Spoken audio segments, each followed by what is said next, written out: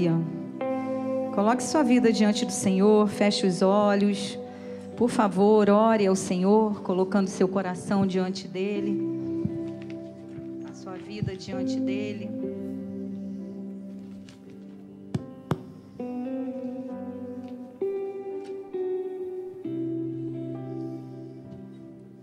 Coloque seu coração diante do Senhor. Deus, nós louvamos o teu nome por essa manhã. Louvamos o teu nome por tudo que o Senhor já fez. Louvamos o teu nome pelo teu amor que nos envolve. Louvamos o teu nome pelo teu doce Espírito Santo que nos ensina todas as coisas, é o que a tua palavra diz, que nos orienta, que nos instrui na tua palavra. E nessa hora nós queremos apresentar os nossos corações diante do Senhor e pedimos, Deus, que a, iluminação do Teu Espírito Santo nos ajude nesse momento na compreensão da Tua palavra. Nós colocamos a nossa vida diante do Senhor porque sabemos que do Senhor vem tudo o que nós precisamos. O teu amor, a tua graça, a tua misericórdia, o teu perdão, o, a tua paz, a misericórdia do Senhor, que a tua palavra diz que se renova todas as manhãs. E a tua palavra é poderosa, Senhor, para nos curar, nos sarar, nos transformar e tornar o nosso caráter no caráter de Cristo. Então, doce Espírito Santo, ajuda-nos nessa manhã na compreensão da palavra do nosso Deus. Muito obrigada, Senhor, em nome de Jesus. Amém. Amém. Obrigada. Bom dia. Você está feliz por estar aqui? Quase, quase no último domingo desse ano. Cabral. Glória a Deus. Seja bem-vindo. Cabral foi operado essa semana. Está aqui firme e forte na presença do Senhor. O Senhor é bom, né? O Senhor é bom. Como a palavra dele diz, o Senhor é bom. E hoje é quase que o último, né? Estamos caminhando para o final do ano. E eu creio que sempre quando nós chegamos ao final do ano é um, é um tempo de reflexão. É um tempo de reflexão e é um tempo de esperança para o novo ano que se apresenta diante de nós. E normalmente a gente reflete e pensa em tudo que aconteceu na nossa vida e ficamos com grandes expectativas para um novo ano. Eu queria perguntar para você agora, né, nesse tempo de reflexão, eu quero perguntar para você: o que move você? Pelo que ou por quem você se movimenta? Pelo que ou por quem você vai ficar? Que embrião. Obrigada. Pelo que ou por quem você faz o que você faz? Pelo que ou por quem você se movimenta sobre essa terra. Sabe por quê? Eu tenho pensado e muitas vezes nós nos movimentamos por interesses. E Deus falou ao meu coração esses dias e eu fui buscar no dicionário é, o que significa né, a palavra interesse.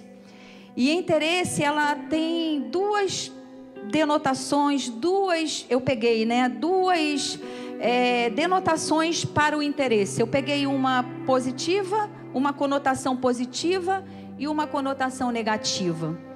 A conotação positiva que eu peguei no Aurélio, no Aurélio, antigo Aurélio, né, mas eu fui na internet, no, no antigo dicionário, né?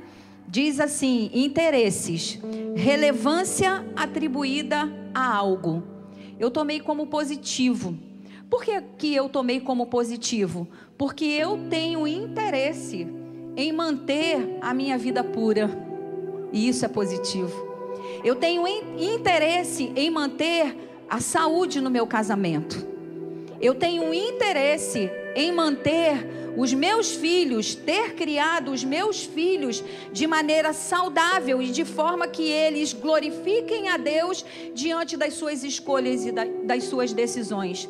Eu tenho interesse em manter o meu corpo santificado e puro diante do Senhor e diante de todos os homens. Eu tenho interesse de manter uma vida reta sobre essa terra. Eu tenho interesse de ter, fazer escolhas, tomar decisões nessa terra que glorifiquem ao Senhor. É do meu interesse. Eu tenho interesse. Então, interesse é a relevância atribuída a algo. Eu tenho um interesse em manter a minha vida pura, em manter uma vida reta e santa, porque sem santidade ninguém verá o Senhor. Mas há uma denotação, uma conotação que eu peguei como negativa para o interesse. Eu tenho interesse, vou dizer, em que a igreja do Senhor cresça e multiplique, frutifique e que todos os seus membros reconheçam os seus dons, os seus talentos e hajam efetivamente dentro da igreja na posição onde Deus as quer. Eu tenho interesse nisso. Mas a conotação, a denotação negativa, eu peguei uma frase que diz assim: interesse, tendência para buscar o que nos traz benefícios ou vantagens pessoais aí o interesse passa a ser negativo. Quando eu só faço porque eu tenho um interesse pessoal por trás da minha atitude. Aí o interesse é negativo. Aí eu posso dar, dar entregar a ele uma, uma, uma conotação negativa. Quando eu só faço porque eu vou ter algo em troco em troca. Porque eu só me entrego se eu tenho retorno. Porque eu só faço ou eu só vou aonde me interessa, pessoal, algo que eu trago para mim, somente para mim, e me esquecendo que a minha vida é para a glória do Senhor e para o outro. Tudo que Deus me dá é para que eu devolva para Ele e para que eu seja uma bênção para o meu próximo.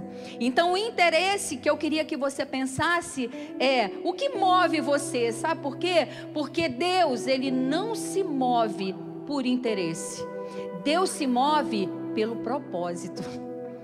Todo o movimento de Deus é pelo propósito.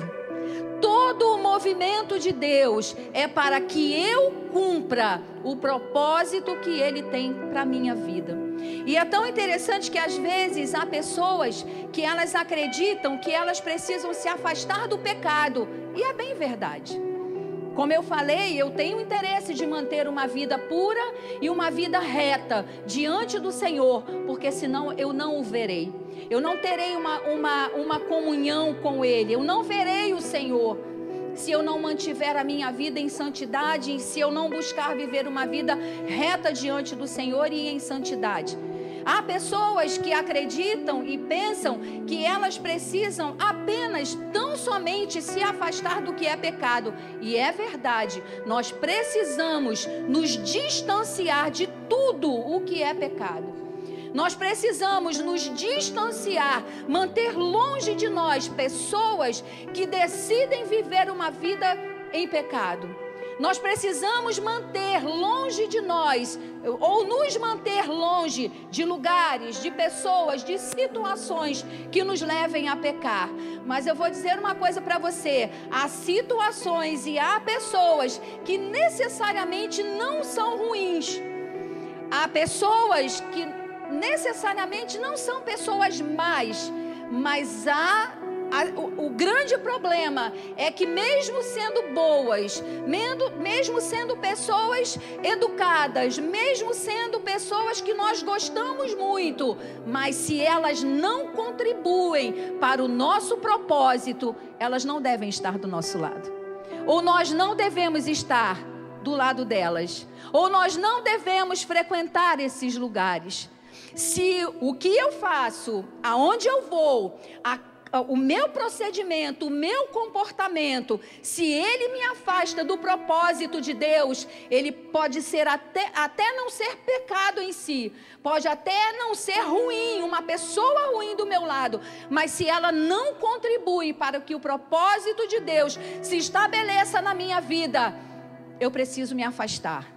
Eu preciso manter distância de tudo aquilo que não me permite cumprir o propósito de Deus. E eu gostaria de continuar compartilhando a palavra do Senhor com você num texto que eu comecei há um, há um tempo atrás e eu não consegui terminar. E é no Salmo 127. E é interessante que para que eu possa viver o propósito de Deus, para que eu possa cumprir o propósito que Deus tem para minha vida, eu preciso que Deus edifique as minhas construções. Eu preciso que o Senhor seja o construtor das minhas construções. Eu preciso que o Senhor seja aquele que vai edificar a minha casa, aquele que vai edificar a criação dos meus filhos, aquele que vai edificar, vai sustentar, vai fazer permanecer o meu trabalho, os meus dons e os meus talentos. Sabe por quê? Eu, eu vou falar uma coisa para você. É muito fácil começar. Às vezes. Nós podemos começar qualquer coisa mas manter é muito mais difícil. É muito mais difícil. Você pode desejar, né? Ah, eu vou iniciar esse ano num jejum, fazendo um jejum. Ou eu vou finalizar o ano com uma semana, dez dias de jejum.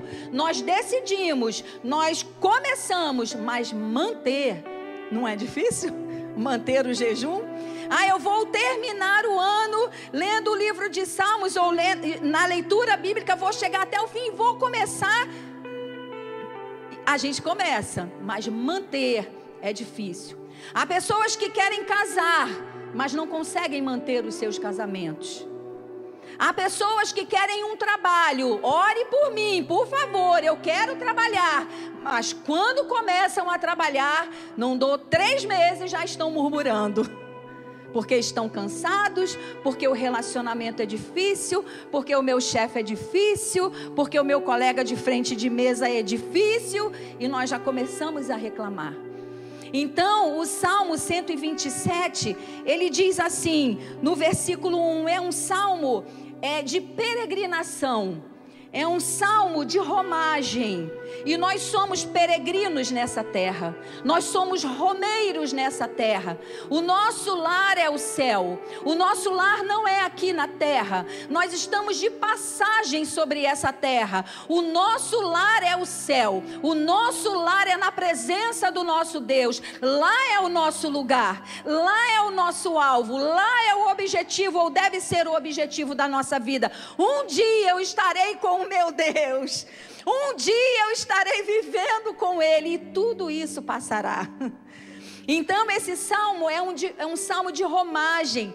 Os salmos do 120 ao 134 são 15 salmos de romagem que o povo cantava quando ia para Jerusalém, adorar a Deus nas três grandes festas que ou uma festa por ano que eles pudessem ir, eles iam cantando esses salmos do 120 ao 134. E eu gostaria de ter conseguido pregar esses 15 salmos, mas Talvez eu chegue lá, né? Então, o Salmo 127 é um salmo de Salomão. E Salomão, um homem, como eu falei da outra vez que eu iniciei, tinha todos os recursos para construir o templo e para construir a sua casa. Ele tinha tudo, seu pai deixou, Davi deixou ele equipado, ele tinha os melhores profissionais, ele recebeu oferta, ele tinha recursos, todos os materiais, ele tinha artífices, pessoas habilitadas, capacitadas para a construção do templo e da sua casa. Mas com tudo isso, olha que a sabedoria de Salomão. Ele diz assim no versículo 1: Se não for o Senhor o construtor da casa, será inútil trabalhar na na sua construção. Em outra versão diz: Se o Senhor não edificar a casa, em vão trabalham os que a edificam. Eu preciso entender que, ainda que eu tenha capacidades, que ainda que eu tenha habilidades, se não for o Senhor quem vai edificar a minha casa, a minha vida, os meus relacionamentos, todo, tudo que eu construir nessa vida, será em vão será inútil. E eu compartilhei com vocês na semana passada, inútil semana passada, não, da última vez, inútil significa em vão. E a palavra que mais mexeu comigo no original, inútil, é desperdício. É desperdício.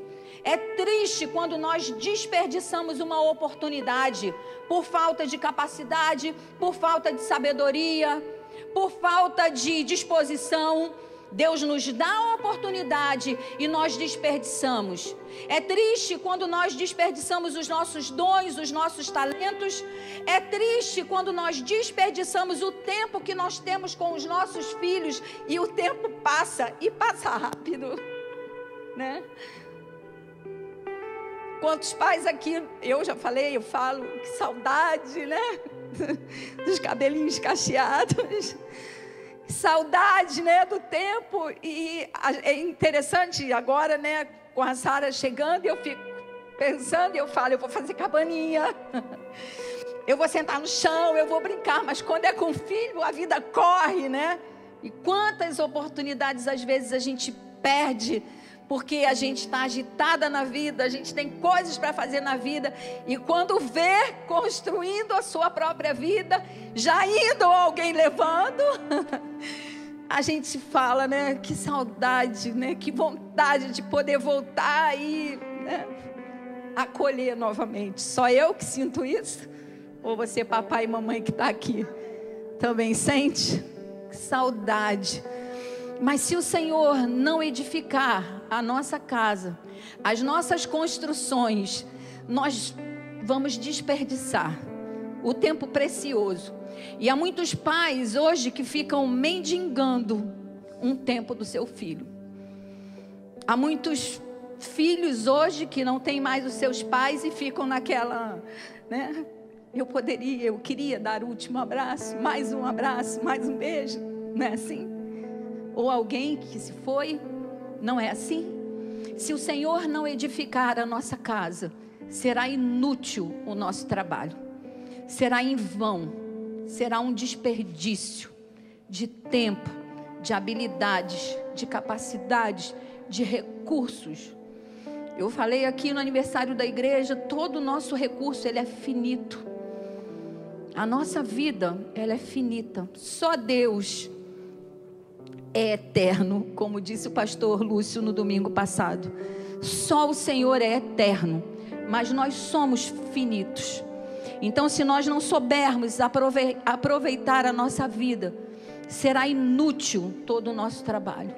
Trabalharemos, trabalharemos e daqui a pouco estaremos reclamando estaremos murmurando. E Salomão, muito esperto, muito inteligente, muito sábio, ele está dizendo isso para o Senhor: Senhor, eu construí, eu construo. Talvez esse salmo tenha sido escrito em meio à construção do templo e da casa dele, do palácio dele. E ele olhando, eu fico imaginando, né? Salomão olhando aquilo tudo e falando: Senhor, eu tenho tudo, mas se o Senhor não proteger, se o Senhor não guardar, se o Senhor não estabelecer, se o Senhor não firmar, será inútil todo esse trabalho. Tudo isso que eu tenho, tudo isso que o Senhor me deu a capacidade de construir, me deu a honra de construir, será inútil. E às vezes nós desperdiçamos, é o que o inútil ou em vão em algumas versões diz. E ele diz assim: eu, eu, na última vez eu compartilhei com vocês, ele disse: se não for o Senhor o construtor da casa, será inútil trabalhar na sua construção. Da, da outra vez que eu preguei, eu falei sobre a Torre de Babel, que Deus não havia determinado que o povo construísse a Torre de Babel. E Deus trouxe uma confusão, porque era pela vaidade, era pelo orgulho. E hoje eu quero compartilhar com você no capítulo de Gênesis, capítulo 16 de Gênesis, sobre uma outra história também. Abraão, ou Abrão, ainda nessa época, Deus manda que ele saia da sua terra, que Deus o faria grande. Então ele sai de Ur dos caldeus e ele vai para a terra que Deus prometeu. E o tempo passa eu tenho quase a certeza que 10 anos se passaram desde que tudo isso aconteceu. E quando no capítulo 16, no versículo 1, diz assim: Ora, Sarai, mulher de Abraão, não lhe dera um, nenhum filho, como tinha uma serva egípcia chamada Agar, disse a Abraão: Já que o Senhor me impediu de ter filhos, possua a minha serva. Talvez eu possa formar uma família por meio dela. Abraão atendeu a proposta de Sarai. Quando isso aconteceu, já fazia dez anos, sim, que Abraão, seu marido, vivia em Canaã. Foi nessa ocasião que Sarai, sua mulher, lhe entregou sua serva egípcia. Sabe quantos anos Abraão tinha nesse tempo? Lá no versículo 16 diz: 86 anos. 86 anos. Uma idade avançada não me garante ter construído algo na presença do Senhor.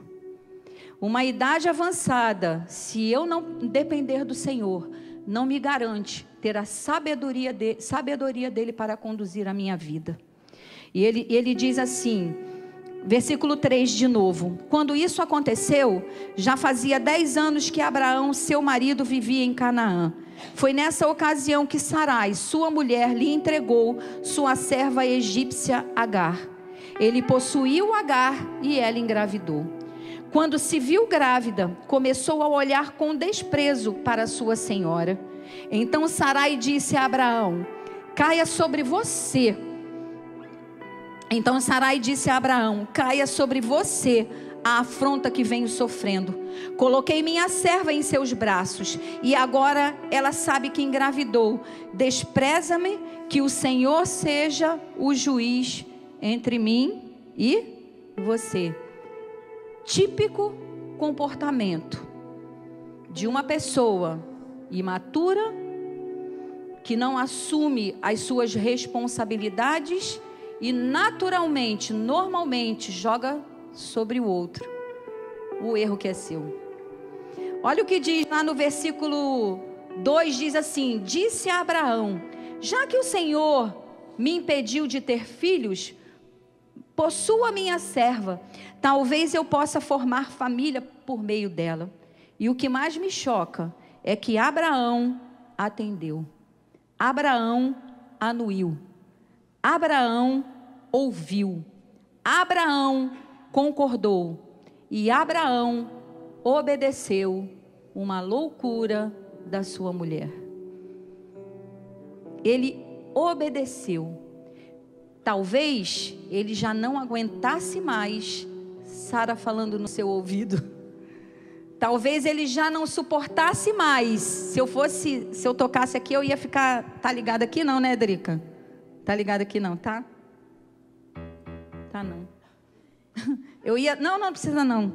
Eu ia ficar só numa tecla, para a gente ver o quanto é bom ficar só numa tecla. Eu me lembro quando eu era criança, às vezes eu queria fazer alguma coisa e minha mãe não queria. Por exemplo, praia. Mãe, minha amiga lá da frente vai, na, vai à praia, deixa eu ir com a mãe dela, com o pai dela. Minha mãe, não. Praia, perigoso. Não, e eu ficava, deixa mãe, deixa mãe, deixa mãe, deixa mãe, deixa mãe, deixa mãe, deixa mãe. Né? Quantas vezes nós fizemos isso? Deixa mãe. Eu fiquei lembrando, pensando em Sara. Sara deve ter falado tanto Abraão devia ver Sara tão amuada, tão triste, que ele anuiu, ele concordou, ele obedeceu com alguma coisa que não era a construção de Deus. É óbvio que no futuro contribuiu, né? Não é nesse sentido que eu estou dizendo. Eu estou dizendo no sentido de que ele obedeceu a uma direção de uma mulher que ansiava por ser mãe, não aguardou a promessa do Senhor, porque Deus já havia prometido, Deus já havia dito que daria, e ela antecipadamente, desesperadamente, tanto, sabe, como é que é? Água mole em pedra dura, tanto bate até que fura. Diz o ditado aí, né? Tanto bate até que fura. E eu imagino Sara falando, falando, falando. E eu imagino, chegou o momento que Abraão falou: ai, tá bom. E aí o que, que ela faz? Versículo 4 diz assim: Ele possuiu Agar e ela engravidou. Quando se viu grávida, começou a olhar com desprezo para sua senhora. Então Sarai disse a Abraão: Caia sobre você a afronta que venho sofrendo. Coloquei minha serva em seus braços e agora ela sabe que engravidou. Despreza-me, que o Senhor seja o juiz entre mim e você. Se o Senhor não edificar a casa, em vão será um desperdício a construção. O tempo que se perdeu resolvendo aquela questão, o tempo em que Agar foge, leva o menino e aí é trazido de volta.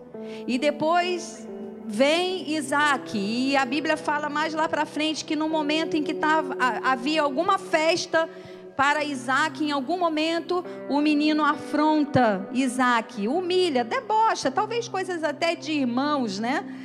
Mas novamente a mulher é mandada embora, novamente mais um transtorno, mais um desgaste, desperdício de tempo, de energia. Então, se o Senhor não edificar a nossa casa, em vão trabalharemos. Se o Senhor não for aquele que vai edificar, aquele que vai estabelecer, aquele que vai fazer continuar, aquele que vai firmar, aquele que vai tornar permanente, ou aquele até que vai reconstruir, será inútil, será um desperdício todo o nosso trabalho. E nós não temos mais tempo para o desperdício.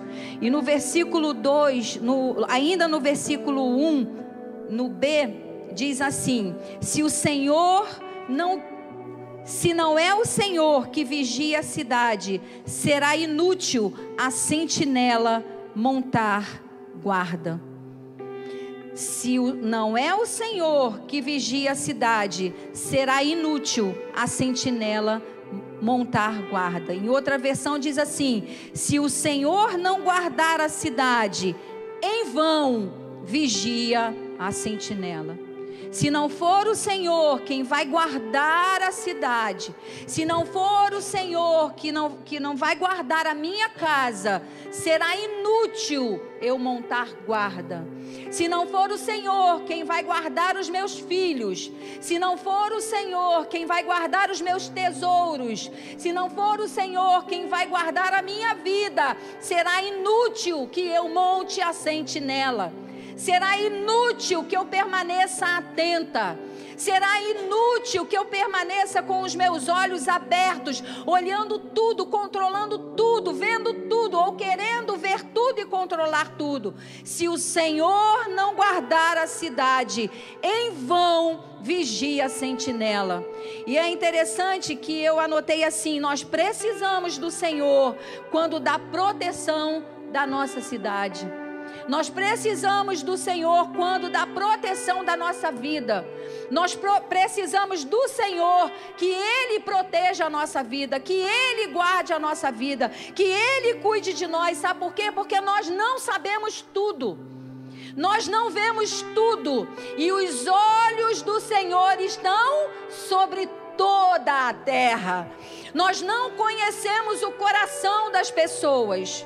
Nós não conhecemos as intenções do coração das pessoas. Nós não conhecemos quem realmente são as pessoas.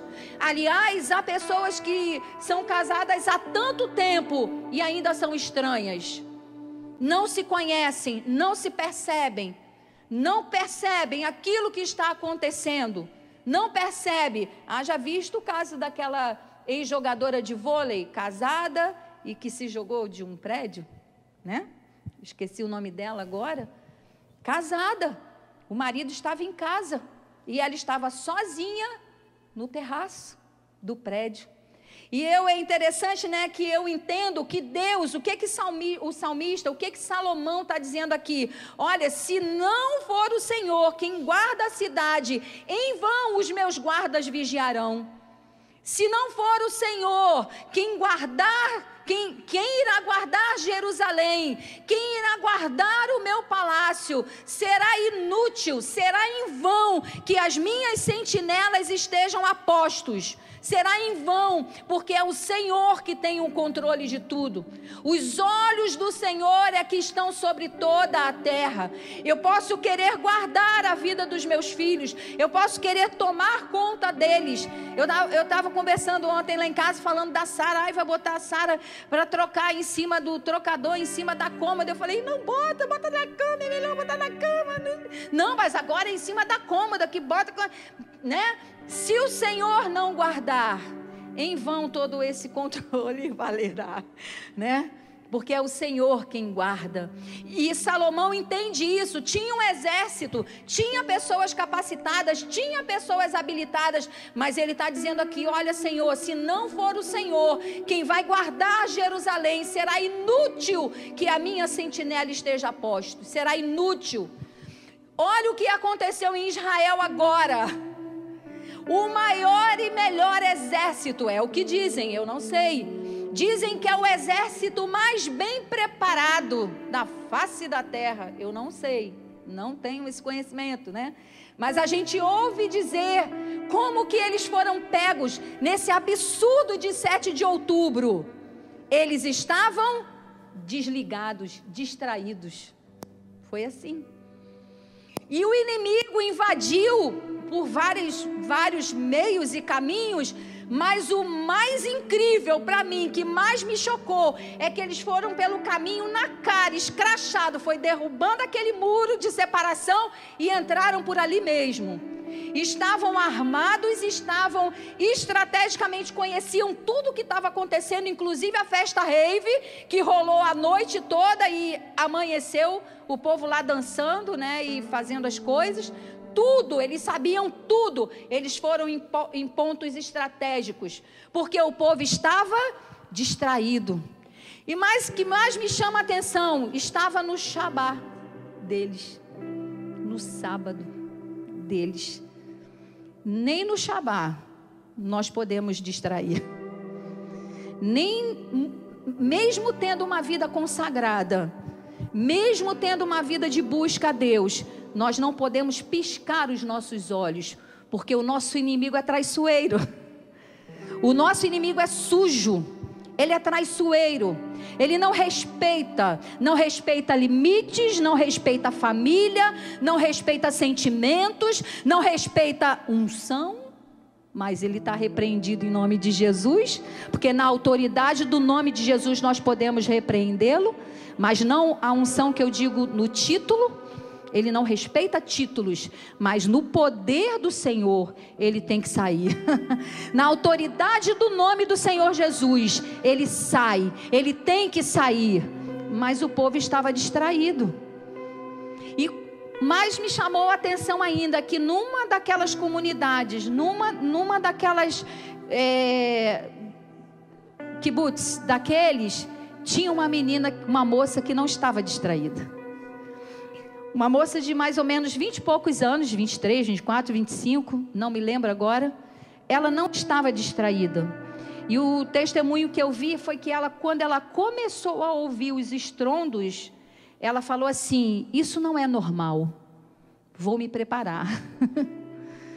e disse que ela foi no lugar onde as armas estavam e ela equipou todo, todas as pessoas que queriam é, pegar a arma para lutar, ela equipou é, a ela e aos outros, e ninguém daquele kibbutz foi ferido, porque ela estava atenta, porque ela estava ligada. Então Salomão está dizendo aqui: olha, se não for o Senhor, que quem edifica a cidade, em vão vigia a sentinela. Neemias fez isso. Eu não vou ter, ter tempo de ler, mas eu leria o livro de Neemias.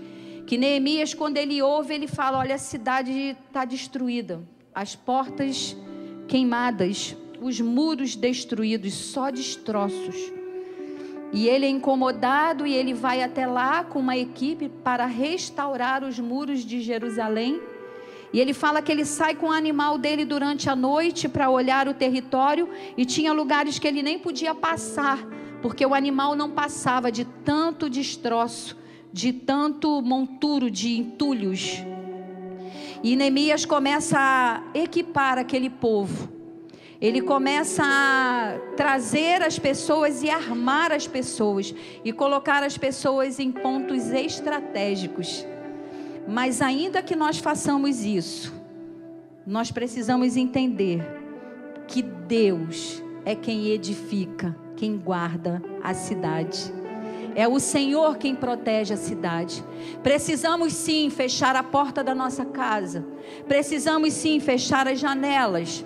Precisamos sim cuidar da segurança da nossa casa, da integridade do nosso corpo, da nossa vida, da nossa família, dos nossos dons, dos nossos talentos. Mas mesmo que eu tenha a capacidade para fazer isso, como Salomão, eu preciso reconhecer que se o Senhor não guardar a cidade, em vão vigia a sentinela. Salomão diz: se o Senhor não edificar a casa, em vão trabalham os que a edificam. Se o Senhor não guardar a cidade, em vão vigia a sentinela ou o sentinela. E no versículo, ele continua, no versículo 2: Será inútil levantar cedo e dormir tarde, trabalhando ardua, arduamente por alimento. O Senhor concede sono àqueles a quem ele ama. Nesse versículo 2 ele está dizendo, né, porque o, a forma de, do sustento daquele povo de Israel naquela época era a agricultura. Então eles dependiam da semeadura, eles dependiam da colheita. E ele, Salomão está dizendo assim: olha, não adianta trabalhar feito um louco. Não adianta trabalhar desesperadamente. É o que ele está dizendo aqui. Será inútil levantar cedo será inútil dormir tarde, trabalhando ardua, arduamente por alimento. E ele diz, ele fala algo tremendo, ele diz assim: "O Senhor concede o sono àqueles a quem ele ama". Sabe esse ama o que significa no original? G de dias. G de dias é o nome de Salomão. É o nome que o profeta deu para Salomão. Então ele diz assim: O Senhor concede sono a G de dias, a quem ele ama. Nós somos o povo amado do Senhor. Nós somos os servos do Senhor. Nós somos hoje o Israel de Deus o povo a quem Deus ama, o povo a quem Deus escolheu para que glorificasse e honrasse o nome dele sobre essa terra. Nós somos o G de dias do Senhor. O Senhor concede, concede sono aos G de dias dele, aos amados. Ou seja, eu não tenho como proteger a semente, eu não tenho como ir, ir lá e fazer com que a colheita aconteça. Salomão entende, mas o meu Deus concede sono àqueles a quem ele ama. O Senhor concede sono aos seus G de dias. O Senhor concede sono ao Israel dele. Vamos ficar de pé? Isso é uma promessa, né? A gente pode tomar como uma promessa que o Senhor concede sono àquele a quem àqueles a quem ele ama. No versículo 3 diz assim: Os filhos são herança do Senhor, uma recompensa que ele dá. Como flechas nas mãos do guerreiro, são os filhos nascidos na juventude. Como é feliz o homem que tem a sua aljava cheia deles, não será humilhado quando enfrentar os seus inimigos no tribunal. Eu queria encerrar com o 128 Salmos, no livro de Salmos, o capítulo 128, versículo 1, que diz assim: Como é feliz quem teme o Senhor. Você teme o Senhor? Como você é feliz. Você que teme o Senhor. Você que ama o Senhor. Você que tem prazer na lei do Senhor. Você que tem prazer de estar na Jerusalém, na presença do Senhor, na casa do Senhor. Como é feliz quem teme o Senhor, quem anda em seus caminhos. Você comerá do fruto do seu trabalho e será feliz e próspero. Aleluia. Sua mulher será como a videira frutífera em sua casa. Seus filhos serão como brotos de oliveira ao redor da sua mesa. Assim será abençoado o homem, a mulher que teme ao Senhor. Que o Senhor o abençoe desde Sião e para que você veja a prosperidade de Jerusalém todos os dias da sua vida. Aleluia. Fecha os teus olhos. Se o Senhor não guardar a sua vida, será inútil tudo que você fizer. Porque os teus olhos não estão sobre toda a terra. Os olhos do Senhor estão sobre toda a terra. Então confie nele, coragem, como foi dito aqui. Combata o bom combate, como Deus já ministrou para nós nessa manhã. Combata o bom combate, confiando, acreditando que o Senhor é quem edifica a sua casa. O Senhor é quem estabelece as suas construções. Ou o Senhor precisa estabelecer as suas construções, os seus projetos, os seus sonhos, aquilo que você deseja realizar e construir sobre essa vida. Que o Senhor seja o edificador. Que o Senhor seja aquele que vai fazer permanecer. Tenha o interesse pela sua vida. Lute, lute pela sua vida Lute pela sua casa, lute pela sua família, lute pelos seus dons, lute pelos seus talentos, lute por uma vida de santidade, porque sem santidade ninguém pode ver o Senhor. E nós queremos ver o Senhor. Coloque o seu coração diante dele. Coloque a sua vida diante dele. Diga para ele, Senhor, eu não, os meus olhos não estão em todos os lugares. Eu não tenho essa capacidade, eu não tenho essa habilidade, mas o Senhor sabe, o Senhor conhece e eu quero lutar o bom combate. Fale para Ele: eu quero, eu quero permanecer na Tua presença, eu quero que as minhas construções permaneçam na Tua presença. Eu quero que o Senhor edifique as minhas construções, que o Senhor edifique a minha vida, que o Senhor edifique a minha casa, a minha família, os meus talentos, os meus dons. Senhor, bendizemos o teu nome pela tua palavra. Bendizemos o teu nome porque a tua palavra nos anima.